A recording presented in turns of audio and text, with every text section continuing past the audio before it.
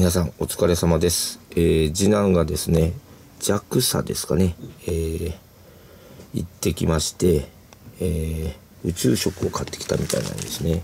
で、開けたいんですけど、ちょっと開けられないっていうことで、えーどのくらい日持ちするか、あ、日持ちが、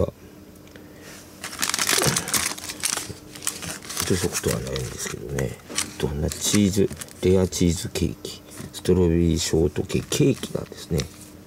で羊羹まである。うん。ちょっと中身開けられんけど残念やね。BCC 宇宙食。まあこんなのがあるよということで、えー確認してください。ありがとうございます。